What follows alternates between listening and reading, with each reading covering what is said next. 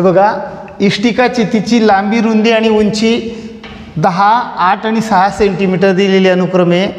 तर आपल्याला त्याचं एकूण पृष्ठफळ काढायचं आहे मग आपल्याला इष्टिका चितीचे एकूण पृष्ठफळ.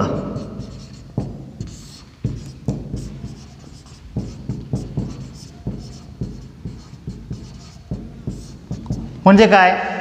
दोन कवसात L B plus B H plus H L मी तुम्हाला आत्ताच समजून सांगितलं.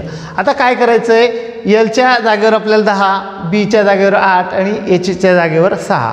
असं घ्यायचं आहे कारण की लांबी रुंदी आणि उंची हे आपल्याला दिलेलं आहे.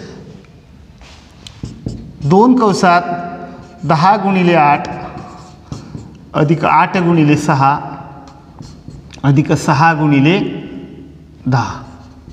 बघा आपण यल च्या जागेवर दहा बीच्या जागेवर आठ आणि एचच्या जा जागेवर सहा घेतलेला आहे. ओके? आता बघा. दोन कवसात दहा आठ ऐंशी अधिक आठ सक अठ्ठेचाळीस अधिक सहा साठ. म्हणजेच काय? दोन गुणीला सहा आणि चार दहा आठ अठरा एकशे अठ्ठ्याऐंशी. म्हणजे ऐंशी अठ्ठेचाळीस आणि साठ यांची जी बेरीज आहे ती किती आली? एकशे अठ्ठ्याऐंशी. तीनशे शहात्तर चौरस सेंटीमीटर किंवा सेंटीमीटर वर्ग असं म्हटलं तरी पण चालेल. कळालं?